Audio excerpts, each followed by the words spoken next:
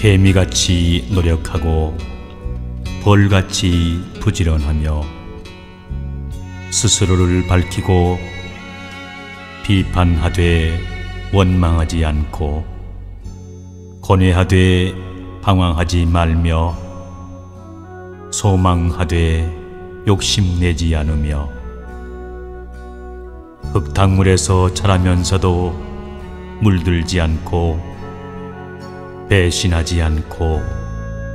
거짓되지 않고 신의를 존중하며 남을 위해 유용해지기를 기쁨으로 삼는 연꽃과 같이 어진 일을 가까이 하라.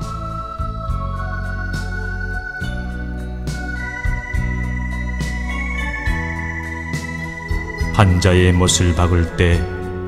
오직 못만 두드리는 일관됨과 어려움이 다하면 즐거움이 온다는 희망과 우거진 풀밭을 걸어서 꽃 피는 마을까지 끝까지 가는 끈기와 생각은 조각에 끓이라며 모든 일을 행복하다고만 생각하고 불행을 도망치게 하는 의지와 노송은 하루아침에 큰 것이 아니라는 여유와 남의 말에 매달리지 않는 소신과 남에게서 구하지 않는 자조와 남의 등불에 하루살이처럼 몰려들지 않는 기계와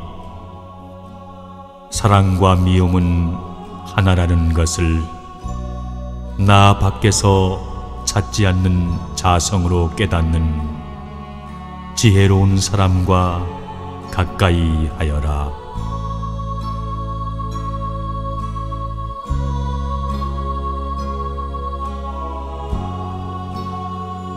나라를 다스리는 자 참지 않으면 나라가 망하게 되고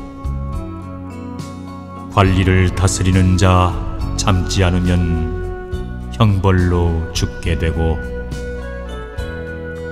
형제를 다스리는 자 참지 않으면 이별하게 되고